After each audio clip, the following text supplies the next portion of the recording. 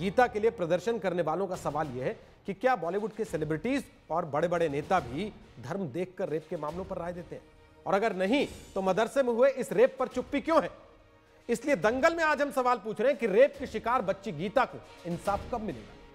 मदरसे में महापाप का आरोपी मौलवी कब गिरफ़्तार होगा? क्या रेप के मामलों पर धर्म की राजनीति की जा रही है? बीजेपी के नेता प्रदर्शन कर रहे हैं, जाँच क्यों नहीं करा देते? आखिर सरकार तो उन्हीं की है। और मदरसे में रेप पर नेताओं और सेलिब्रिटीज की प्रतिक्रिया क्या सिलेक्टिव है? आज का दंगल इन्हीं सवालों पर।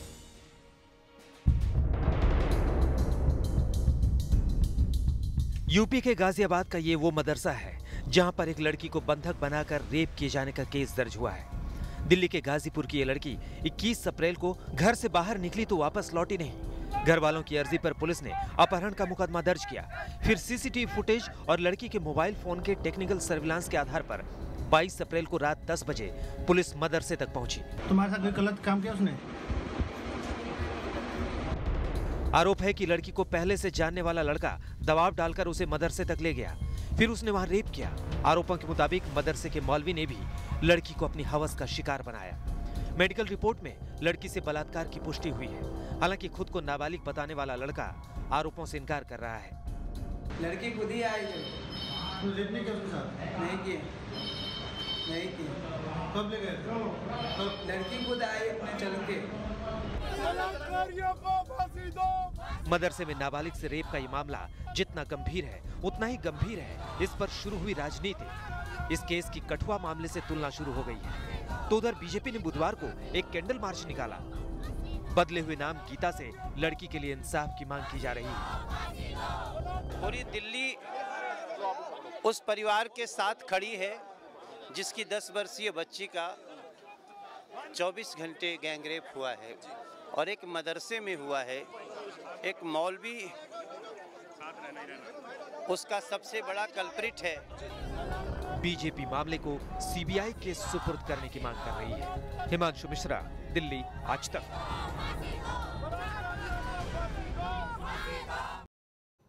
तो आपको बता दें कि दंगल में आज हमारे साथ हैं नलिन कोहली, वो बीजेपी के नेता और प्रवक्ता हैं। हमारे साथ हैं रागनी नायक, वो कांग्रेस पार्टी के नेता और प्रवक्ता हैं। हमारे साथ हैं मौलाना फहीम बेग, जो कि इस्लामिक स्कॉलर हैं।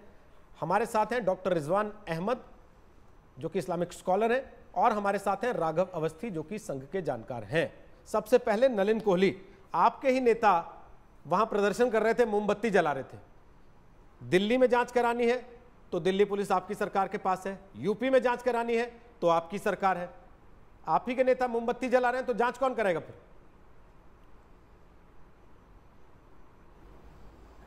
नहीं, मुझे लगता है दो इसके पहलू हैं। पहली बात जो आप कह रहे हैं, जाँच की बिल्कुल।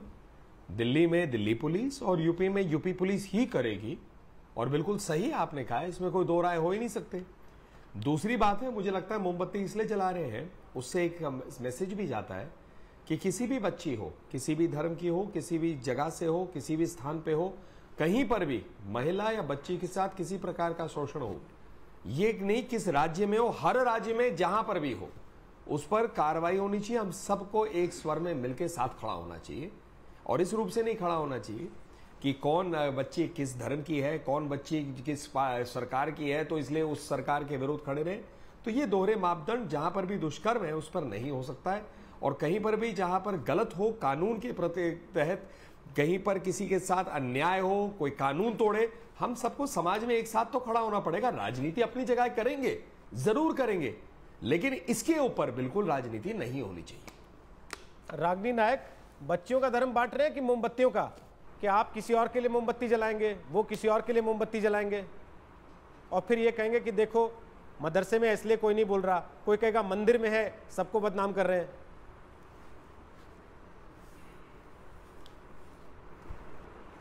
रोहित जी, हर कठिन सवाल से बचने के लिए धर्म का सहारा लेना, धर्म की आड़ बनाना, ये भारतीय जनता पार्टी का चरित्र है, कांग्रेस पार्टी का नहीं।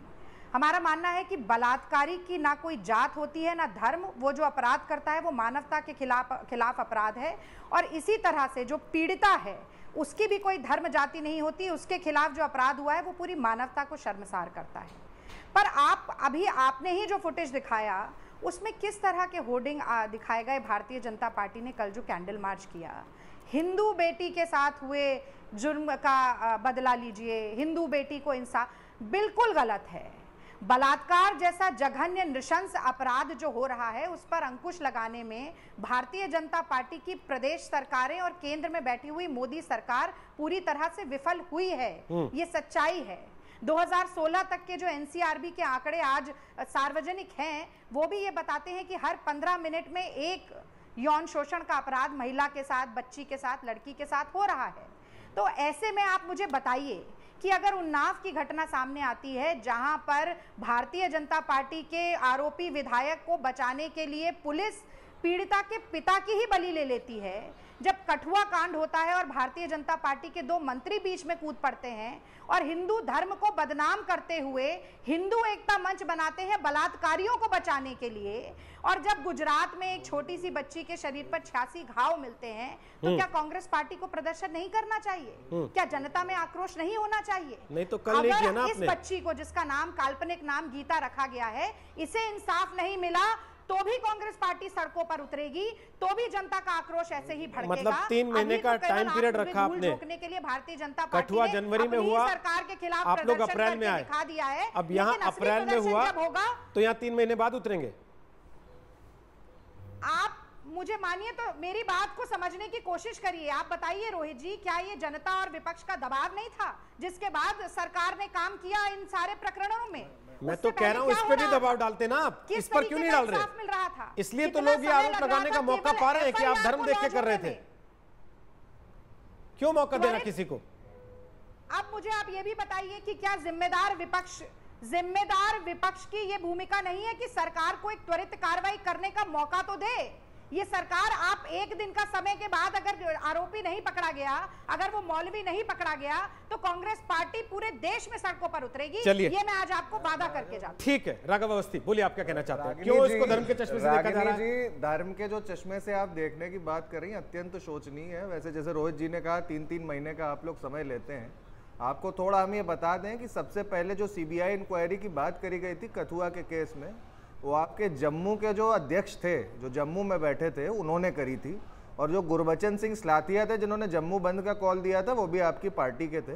तो ये वॉट अबाउटरी ना करें तो ज़्यादा बेहतर होगा।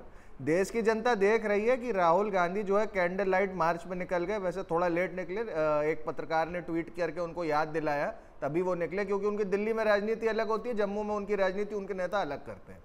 पर मैं ये प्रश्न पूछना चाहूँगा कि यदि ये हिंदू बच्ची है और जिसके साथ मदरसे में दुष्कर्म किया गया है तो ये राहुल गांधी के लिए पॉलिटिकली इनकरेक्ट है क्या कि वो आगे आके इस पर बोलें? और पूरी दुनिया में जो है इसके कथुआ के बारे में बोल बोल के कि मुसलमानों पे अत्याचार इस देश में हो रहे हैं, इसका जो नरेटिव फैलाया गया है राहुल गांधी को जो है मुझे राहुल गांधी को नहीं उनके मीडिया मैनेजर मैनेजर्स को लज्जा आनी चाहिए कि हिंदू बच्ची के बलात्कार पे जो है उनके मुँह में लगता है दही जमी हुई है। ठीक है। एक ट्वीट तो मैं करें। छोटा जवाब एक- देना चाहती हूँ रोहित जी। हम्म रागनी जवाब दे दीजिए फिर नलिन कोहली आप बोल लीजिएगा। उंगली उठाए आप भी। बोलिए जल्दी से छोटा। 282 कमल 282 कमल खिलने के बावजूद पूर्ण बहुमत की सरकार होने के बावजूद केंद्र में भी और उत्तर प्रदेश में भी जहाँ मथुरा रेप केस के टाइम दिल्ली 400 सीटें थी कांग्रेस की, आप बात मत कीजिए, रागिनी आप जी। चाहते हैं कि पहली प्रतिक्रिया राहुल गांधी जी करें नहीं, पहली प्रतिक्रिया नहीं। हैं कि पहली प्रतिक्रिया राहुल गांधी सीटें थी जब मथुरा में रेप केस हुआ था? आप बताइए ना, कांग्रेस विश्व भ्रमण करते रहे ये आप एक ट्वीट तो करें।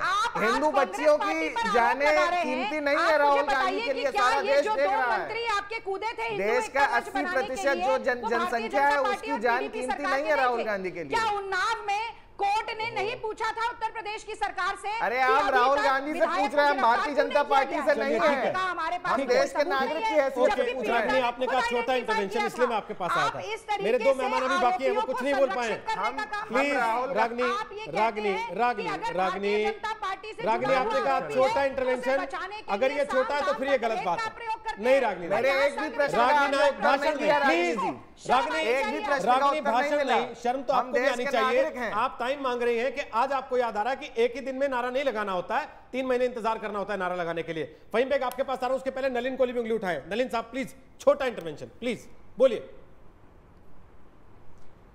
देखिए ऐसा है मैं बहुत छोटी सी एक बात कहूँगा में और हाथ जोड़ के कहूँगा जनवरी किसी में महिला या बच्ची के साथ दुष्कर्म होता है। मैं रागिना लॉन्च जी प्लीज़ मैं कुछ कह दूँ। ये क्या क्या सरकार से नहीं रागिनी पूछा जी? जाना रागनी चाहिए? नायक प्लीज़ आपने बोल दिया ना। अब नलिन कोहली जवाब पूरा कीजिए। फिर फहीम बेग आपके पास और रिजवान साहब आपके पास। बोलिए। रोहित जी जब मैं वापस हाथ जवाब दे जोड़ रही थी के- तब आपके संघ के हाँ, जानकार बीच में बोले थे कि जोड़ नहीं के एक बोले बात कह रहा हूँ। रागिनी जी को आप प्लीज़ शांत कराइए महिला मैडम होकर भी पहले सवाल के जवाब में कोई नहीं बोला था आपका पूरा भाषण सुना गया था। उसके बाद आपने छोटा इंटरवेंशन कहकर दूसरा भाषण शुरू किया। उनके जवाब को काटते हुए इसलिए उन्होंने आपके तो जवाब के बीच में टोका। टाकी की सुनना पड़ेगा। प्लीज़ डिबेट पे बुलाया है, तो बात तो सुननी पड़ेगी प्लीज़ मैडम मुझे बाकी दो लोगों को भी सुनना है तो सबको बराबरी से रागनी जी बाकी दो लोगों को भी सुनना है। अगर बराबरी की बात कर रही है तो बच्चों के साथ भी बराबरी की बात कीजिए। प्लीज़ अभी रिजवान साहब और फहीम बेग तो बोल भी नहीं पाए उनको भी सुनना है। आप पहले पैनल प्लीज़ बना के बनाना शुरू करें मैं प्लीज़ कुछ कह दूँ? प्लीज़ बोलिए नलिन कोहली, पूरा कीजिए। फिर फहीम बेग आपके पास आ रहा हूँ। मैं ये कह रहा था, तीसरी बार प्रयास कर रहा हूँ, अब रागिनी जी शायद बोलने का अवसर दें, कि मैं हाथ जोड़ के विनम्र रूप से कह रहा हूँ, कोई महिला या बच्ची, कोई भी, किसी की बहन, बेटी, माँ, कुछ भी हो, पत्नी, उसके साथ दुष्कर्म होता है तो उसके साथ फिजिकली इमोशनली मेंटली साइकोलॉजिकली बहुत गंभीर एक रूप से उस पर पीड़ा होती है। और मैं ब्लंटली कहना चाहता हूँ कि ये प्लीज़ बांटना छोड़ दीजिए। प्रधानमंत्री जी ने कहा है कि हम सबको मिलके समाज में इस पर कुछ करना पड़ेगा। ये तो महिलाओं के हित में है बच्चों के हित में है। तो आप राजनीति अपना बंद करके कम से कम पॉजिटिव साइड को जितना गाली देना है बीजेपी को आप दीजिए। लेकिन सब मिलकर कम से कम समाज को और सुरक्षित करने का काम तो कर सकते हैं। उसके लिए प्लीज़ आप कह दीजिए राहुल गांधी जी को समझा दीजिए करना। मोमबत्ती अच्छा, जितनी जलानी है जला ले एक सेकंड। बोलना शुरू कर दिया आप लोग लड़िए नहीं एक धर्म में देखना तब भी फिर ज़िम्मेदारी एक- एक- एक तो आप लोग झगड़िए। बीच में बोल रही हैं तब नरेंद्र मोदी जी ने नहीं। 30 अप्रैल 2014 को ट्वीट करके कहा था निर्भया कांड को कभी मत भूलना रागिनी जी नौजवानों को कभी मत रागनी। जी अब आप निर्भया कांड पे जाएँगी फिर वो फिर पीछे के किसी कांड पे चले जाएँगे। फिर आप उससे पीछे के किसी कांड पे जाएँगी। अगर आप लोग वाकई दावा करते हैं कि आप तो महिलाओं के मामलों को लेकर गंभीर हैं तो सबसे पहले तो ये बंद करना चाहिए। चिताओं पे और हुआ तो महिलाओं के दुष्कर्म पर कांग्रेस अपनी राजनीति खड़ी कर रही है। और कुछ है ही नहीं उनके पास सोच। आपने किस आप सरकारी ज़िम्मेदारी को तय करना राजनीतिकरण करना नहीं होता है अच्छा, एक सेकंड। अब एक एक सेकंड रुकिए। मिर्चपुर में जो दलितों के साथ कांड हुआ है खैरलांजे में जो बलात्कार हुए उसकी क्या आपकी ज़िम्मेदारी नहीं है देखिए, सबसे बड़ी बात ये जब आपसे प्रश्न पूछा सबसे जाता बड़ी बात सुनाई देना बंद हो राघव जाता है अवस्थी रागनी नायक सबसे बड़ी बात यही है सबसे बड़ी बात कि आप लोग अपना दामन साफ़ बताने के लिए दूसरे के दामन पर कीचड़ बताते हैं लेकिन तो दिक्कत उछाल ये है हैं। कि अल्टीमेटली राजनीति हर राजनीतिक पार्टी के राज में होती चीज़ें वही हैं। आम आदमी के बच्चे का बलात्कार होता है। वो बच्ची जिसकी स्कूल से सड़क के रास्ते घर आ रही होती है कार में बैठकर घर नहीं आ रही होती है वो। उसके साथ चार सुरक्षा कर्मी नहीं होते हैं। वो आम आदमी का जब वो टीवी देखता है तो उसका मन खट्टा होता है कि उसके नेता एक दूसरे को छोटा बताकर ओछा बताकर अपनी दुकान चला रहे हैं। बिल्कुल। मेरा सवाल यह है फहीम बेग इसको राजनीतिक रंग क्यों देना? रेप के मामले को मंदिर से मदरसे से मस्जिद से मौलाना से पुजारी से क्यों जोड़ना? अगर रेप हुआ है तो रेप हुआ है। और रेप के लिए अगर आप सख्त कानून बनाने की वकालत करते तो वो आदमी की शक्ल देखकर धर्म देखकर या जात देखकर तो सजा नहीं तय करेगा ना? अपराध देखकर तय करेगा। देखिए जितने भी राजनीतिक दल आजकल जिस तरीके से फ़ैशन बनाकर जो है आज धर्म का नाम लेकर या किसी पद का नाम लेकर एक दूसरे पर कीचड़ उछाल रहे हैं इनका लक्ष्य उस मजलूम को इंसाफ दिलाना नहीं है, इनका आपस में रोटियाँ सेकना है। मैं आपके माध्यम से ये सवाल करना चाहता हूँ कोहली साहब से कि भाई आपकी अपनी सरकार है उत्तर प्रदेश में, आपकी केंद्र में सरकार है, बहुमत से आप दोनों जगह हैं। अगर आपका प्रशासन निकम्मा है तो आप उन दोनों दोषियों को तीनों को जो भी हैं वो मौलवी साहब हैं या जो भी हैं या वो लड़का जिसको अभी आपने टीवी पे दिखाया भी इनको आप हमारे हवाले कर दीजिए हम इनको सजा देकर दिखाएँगे। और हमारे लिए ना हिंदू ना मुसलमान। हमारे लिए वो शैतान है। और उस शैतान ने बलात्कारी है किया है। एक सेकंड अवस्थी जी जी पूरा कर जी लें। सुनिए। पहली बार उस पूरा बच्ची का बलात्कार किया है वो इंसानियत का बलात्कार किया है और मुझे बड़ा अफसोस होता है कि पहले आतंकवाद को लेकर धर्म की चश्मा लगाया जाता था अब बलात्कार को लेकर लगाया जा रहा है और अब एक पता चला इन्हीं का कोई संघ का कल कोई लड़का था जिसने टैक्सी ड्राइवर को जो है वो कैंसिल कर दिया कि वो किसी समाज से आता था। मैं- तो ये किस मैं तरह की राजनीति आज देश में देखने को मिल रही है? और रागनी जी आप भी अपने दामन में झाँक कर देखिए आप भी दूध के धुले नहीं है आप यहाँ बहुत बढ़ चढ़कर प्रचंड होकर बात कर रही है। मैं पूछना चाहता हूँ क्या आप सिलेक्टिव होकर किसी भी अपीजमेंट को लेकर आप अपनी राजनीति दिखाना या चमकाना चाहते हैं? हमारे देश में 125 करोड़ लोग एक हैं हिंदुस्तानी हैं। आप सबके लिए आवाज़ उठाइए हम्म, और प्लीज़ हमें तो माफ़ कीजिए। हमारे कंधे पर बंदूक लगा रखकर बंद कर दीजिए अब ठीक चलाना। ठीक फहीम बेग। रिजवान साहब पहले अपनी बात रखिए। आप हंस क्यों रहे हैं? पहले तो ये बताइए। ये मामला इतना गंभीर है। आप लगातार हंस रहे हैं मैं देख रहा हूँ। जी। जी जी जी। गंभीर है, इसीलिए हंस रहा हूँ। अगर कॉमेडी का हो रहा होता और पॉलिटिक्स हो रही होती तो मैं ना हंसता। जब कठुआ रेप कांड हुआ था और अभी अप्रैल में जब डिबेट्स हुए थे, मैंने उसमें एक बात चीख चीख के डिबेट्स में बोली थी रोहित भाई, कि अगर ऐसे कांड का इतना धार्मिक धार्मिककरण और इतना सांप्रदायिककरण जो ये लोग कर रहे हैं, आने वाले कुछ दिन में इसका अगर एक रिएक्शन होगा, लड़की हिंदू होगी लड़का मुस्लिम होगा और जगह कोई मुस्लिम धार्मिक जगह होगी तो मुझे डर है ये भविष्य का एक सांप्रदायिकता का हथियार ना बन जाए। The future of weapon to settle disharmony among religion और मुझे डर है कि वही होता जा रहा है। नंबर एक, इसका जिम्मेदार है हिंदुस्तान की सिविल सोसाइटी इसकी जिम्मेदार है स्वर्ण भास्कर। मैं नाम लेके बात कर रहा हूँ, स्वरा भास्कर जैसी heroine Javed Akhtar, Farhan Akhtar placard लेके खड़े हो जाते हैं। I am India I am ashamed I am Hindustan जब तक ये चेरी पिकिंग करते रहेंगे, जब तक ये पॉलिटिक्स ऐसे रेप और इसमें करते रहेंगे, ये सिविल सोसाइटी नहीं, ये सिख सोसाइटी है इंडिया की, ये इंस्टिगेटिंग सोसाइटी है इंडिया की, तब तक ऐसे डिबेट्स में मैं आके हंसता रहूँगा, मैं हंस नहीं रहा हूँ। मैं इस देश में उन लड़कियों की किस्मत पे हंस रहा हूँ, जिनका बलात्कार होता है और यहाँ पर आके पॉलिटिक्स होती है और सिविल सोसाइटी स्वर्णा भास्कर जैसी हीरोइने मेकअप करके प्ले कार्ड लेके अपनी फ़ोटो खिंचाती हैं। मैं हंस उन लोगों की नियत पे रहा हूँ उनकी उनकी उनकी उनकी सोच पे रहा हूँ। शुरू किसने किया ये राघव अवस्थी? नहीं ये जो कठुआ में उनके लिए सड़क पे कौन उतरा सबसे पहले जिनके ऊपर आरोप था? नहीं कठुआ में सबसे पहले जो हिंदू एकता मंच था जिसमें लोग शामिल हुए थे और ये जो गुरबचन सिंह सलातिया की बात कर रहा हूँ और एक गुलाम मीर शायद उनका नाम है जो कांग्रेस के जम्मू प्रदेश के रहने वाले थे अध्यक्ष थे। सबसे पहले जो वाटर बाउट्री और सीबीआई की जाँच और कम्युनलाइजेशन का जो काम था वो तो उनका था। तो मुझे समझ में नहीं आता हर जगह जो है कांग्रेस पार्टी के प्रवक्ताओं के लिए भी बहुत आसान है कि जम्मू में कुछ बोलते हैं दिल्ली में कुछ बोलते हैं। तो ये प्रश्न तो राजनीतिकरण का कांग्रेस से पूछना चाहिए। तीन महीने तक वो सोते रहे। तीन महीने के बाद उनको याद आया कि इसको दिल्ली में अच्छी मार्केटिंग कर सकते हैं मुस्लिम विक्टिम वोट दिखा के। तो ये कांग्रेस से सवाल पूछने चाहिए। रागनी जी एक भी प्रश्न का जवाब नहीं दे रही हैं। उनको लगता है कि उनके जो पल जो विजडम ड्रॉप हो रहे हैं हम सब उसके लिए बैठे रहे अच्छा, और मैं देश का एक साधारण नागरिक हूँ और मैं उनसे प्रश्न पूछूँगा उनकी पार्टी से वो चाहे कुछ भी कह ले रागनी जी मैं राजनीति में नहीं। हूँ देखिए, एक साथ मुझे भाजपा मत समझ में नहीं समझिए। मेरे प्रश्न का जवाब दीजिए। आप दोनों एक साथ बोलेंगे तो किसी को समझ में नहीं आएगा। रागनी नायक मुझे एक सवाल का जवाब दीजिए। आप कह रहे हैं कि हिंदू एकता मंच उतरा था इसलिए आप लोग जवाब देने सड़क पे उतरे थे क्या? हिंदू एकता मंच ये लोग कि कोई सड़क पे उतरेगा तब आप जवाब देने सड़क पे उतरेंगे रोहित जी इनसे पूछिए हिंदू एकता मंच क्या बच्चियाँ जो नहीं? हैं वो राजनीतिक प्लेटफॉर्म है अब। और कि स्लातिया जी इनकी पार्टी में अभी होंगी भी उन पर हैं। हम वोट मांगने उतर जाएँगे सड़कों पे। स्लातिया जी इन्हीं की पार्टी में कुछ पे आप मांगेंगे कुछ पे वो मांगेंगे। रागनी जी। स्लातिया जी इनकी पार्टी में है या नहीं? एक रोहित आप जी जब आप दोनों लोग बोलते हैं तो मुझे सुनाई नहीं देता है। आप रागनी केवल आप सवाल जी पूछिए। रागनी जी यही मैं आपको समझाने की कोशिश कर रहा हूँ। जब कोई बोल रहा होता है और आप बोलती हैं तो फिर किसी को हाँ, समझ में नहीं आता है। इसलिए मैं आपके पास नाम लेके बाकायदे सवाल पूछने आया हूँ ताकि आपको पता लगे कि बात आपसे हो रही है और आपको बोलना है। दो सवाल हैं।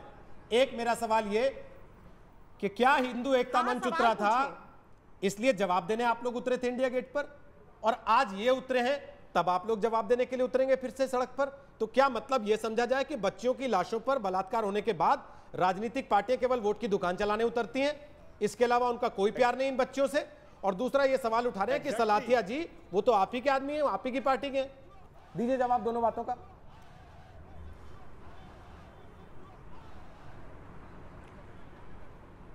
मैं आपको सिलसिलेवार जवाब देती हूँ। सबसे पहली बात यह है कि उन्नाव और कठुआ कांड में यह देखा गया कि सरकारी संरक्षण मिल रहा है आरोपियों को।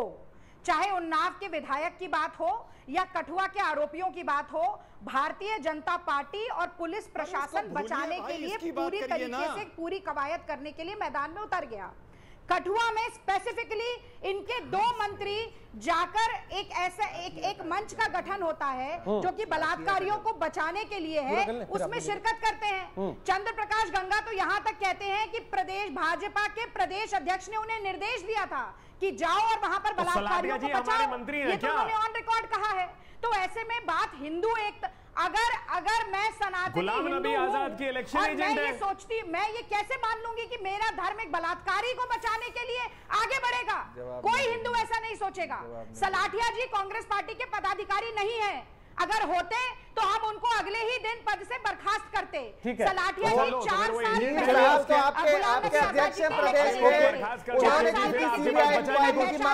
दिल्ली में कोई नहीं हो सकता है। लेकिन आप मुझे ये बताइए- कि दुश्मनों की महिलाओं के साथ बलात्कार करना सर्वोपरम धर्म है ये किसने कहा है, राघव जी? बताइए कि इस पर क्या कहना है ये किसने कहा है? भागवत ये कहते हैं कि किसने महिलाएँ कहा है ये बकवास? महिलाएँ घर के अंदर जब रहती किसने हैं, कहा ये तो बकवास? अमानवीय बात किसने कहा ये? इस सोशल कॉन्ट्रैक्ट को तोड़ा जा सकता है नहीं, रागिनी जी, ये- सारी बातें रागनी रागनी रागनी ये दुश्मनों की महिलाओं के साथ रेप करना परम धर्म है इस सवाल को इस सवाल को मैं वापस लेके आ रहा हूँ है। रागनी रेप पर धर्म की राजनीति को लेकर फटाफट आपको कुछ दर्शकों की राय दिखा देते हैं भूमिका ने लिखा है, रेप जैसे अपराधों को धर्म के चश्मे से नहीं देखना चाहिए, ये एक ऐसा अपराध है जो भारत के सुनहरे सपने पर कलंक है और हम सिर्फ़ भारतीय बनकर ही इसे मिटा सकते हैं। करण ने लिखा हिंदुस्तान में लोगों का ईमान भी अब रेप विक्टिम का धर्म देखकर जागता है। और करण के अलावा हमारे एक और दर्शक हैं, प्रकाश त्रिपाठी, वो लिख रहे हैं कि यही दुखद है, यहाँ बुद्धिजीवियों का एक वर्ग धर्म देखकर शोर मचाता है, अपराध में भी धर्म ढूँढने वालों पर लानत है। नलिन कोहली, जवाब दीजिए जो बातें रागी नायक ने ब्रेक के पहले कही।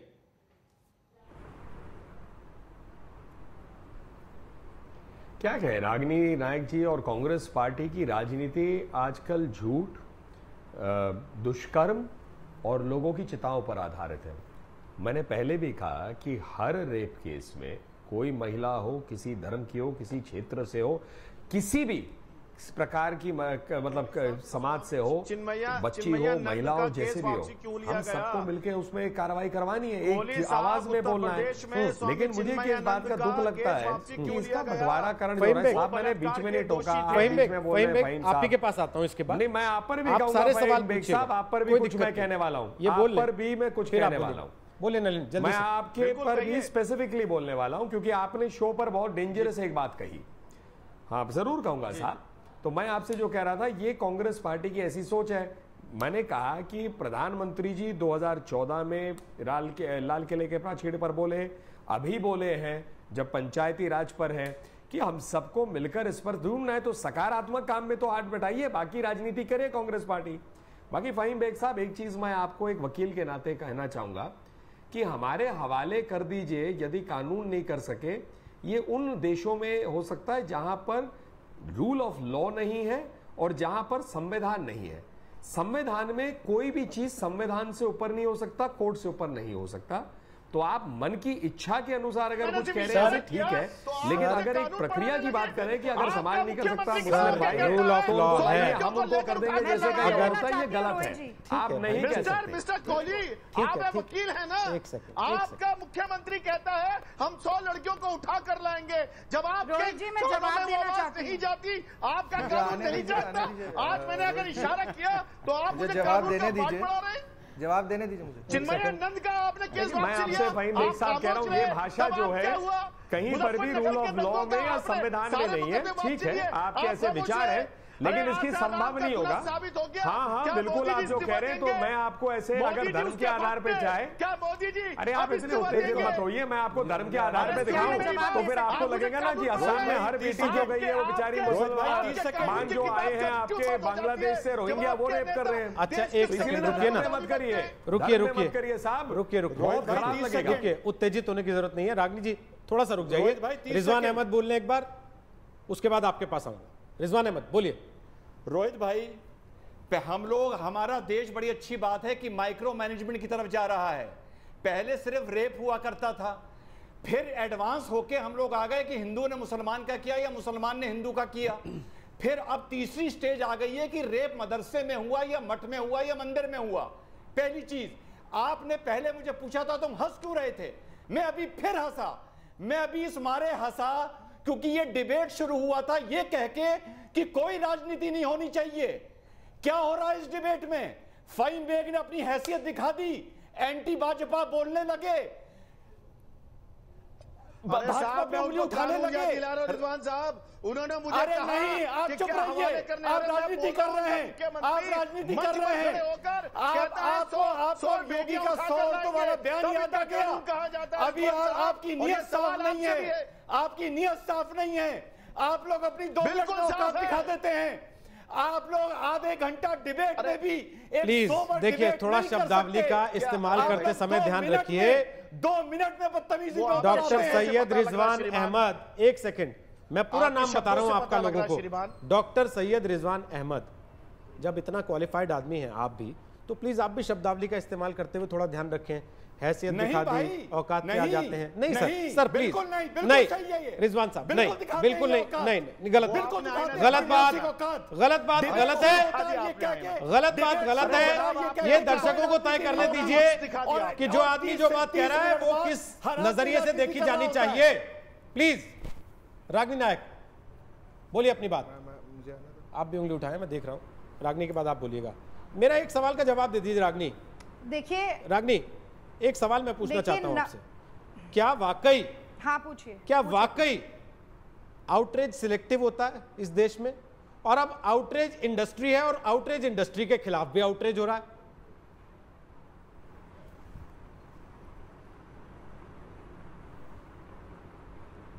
रोहित जी आपको फिर से पूछना पड़ेगा। मेरा सवाल- बिल्कुल ऑडियो क्लियर नहीं। रागनी मेरा सवाल बड़ा सिंपल सा है क्योंकि मुझे पता आप पढ़ाती भी हैं। समाज का अध्ययन भी करती हैं साथ साथ हाँ। क्या वाकई आउटरेज बड़ा सिलेक्टिव हो गया इस देश में अब? लोग जात धर्म देख के फिर सड़क पे निकलने का तय करते हैं। और वो नैरेटिव राजनीतिक पार्टियाँ डिसाइड करती हैं क्या?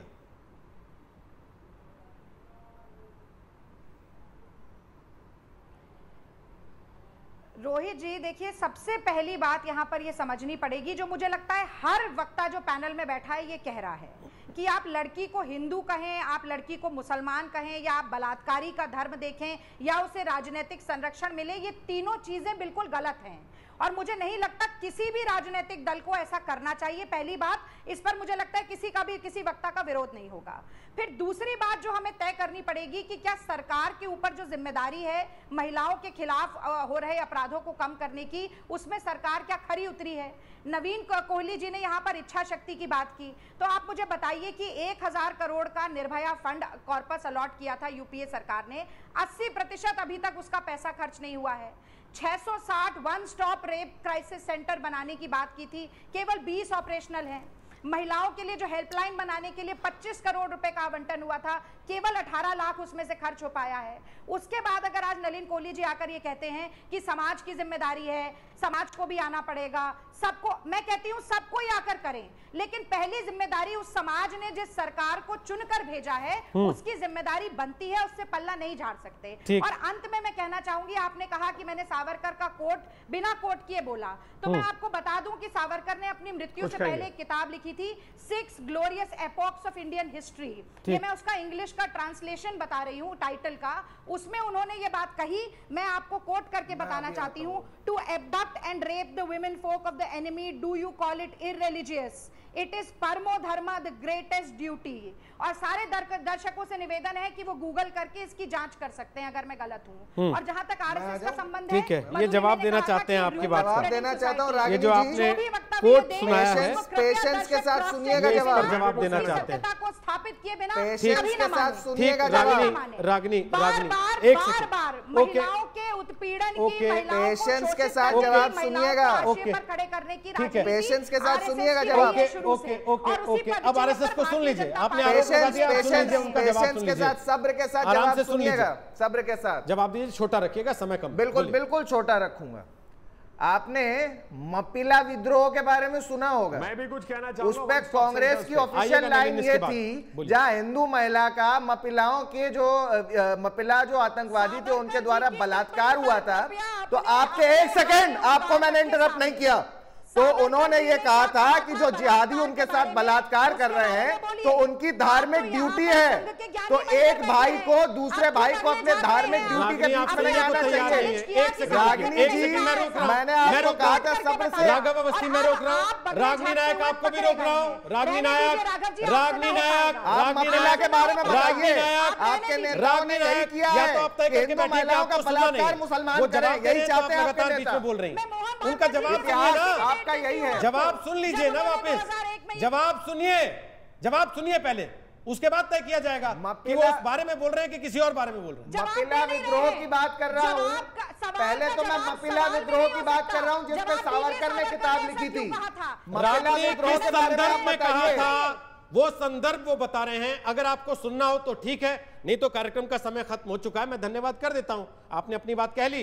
अब आप खुशी खुशी जा सकते हैं सब लोग। लोग अपना सोचते रहेंगे। कि भाई ठीक है राजनेताओं ने अपनी दुकान चला ली तो और उसके बाद जवाब नहीं सुने दिया दूसरे का। बाएँ, बाएँ, बाएँ। जैसे आप कहती हैं वैसे वो भी कहेंगे कि साहब हमको अपनी बात नहीं रखने दी गई। एक एक करके बोलिए ना। कोहली साहब आप बड़े बेबस नज़र आ रहे हैं। आपकी सरकार एक होते हुए भी एक सेकंड फहीम बेग हैं। आपने तो कह दिया ना कि आप अपने घर पे इंसाफ कर देंगे। सरकार होते आपने तो कह दिया ना आप अपने घर पे इंसाफ कर देंगे। कह दीजिए ना आपने तो कह दिया ना फहीम बेग कि क्यों आपने अपने घर पे इंसाफ कर देंगे। आप कर देंगे पत्थर मार मार के। कह दीजिए आपने तो आप कर देंगे पत्थर मार मार के। आप एक प्रश्न का उत्तर दें। महिला में जो अत्याचार मुसलमान आतंकवादियों ने हिंदुओं पर किए आपकी पार्टी क्या कितना साथ खड़ी हुई कि नहीं हुई? एक प्रश्न का जवाब दीजिए क्या उन्होंने कहा कि नहीं? This was a loot of the poor by the rich by the poor अरे उन्होंने कहा कि नहीं उसका जवाब दीजिए। तो दूसरा आप जवाब दीजिए कि आपकी पार्टी के नेताओं ने ये कहा कि नहीं कि को नोआ खली में जो बलात्कार मुसलमान आतंकवादियों ने हैं? हिंदुओं के साथ किया? उसमें जो है हिंदू महिलाओं को बलात्कार सहना चाहिए था। दो प्रश्नों का जवाब दीजिए रागिनी जी। ये आपकी पार्टी का एंटी हिंदू चेहरा आज उजागर हुआ है पूरे देश के सामने। आखिरी पड़ाव पर हमें केवल आपको इतना बताते चले कि दंगल आप अपने मोबाइल पर भी देख सकते हैं।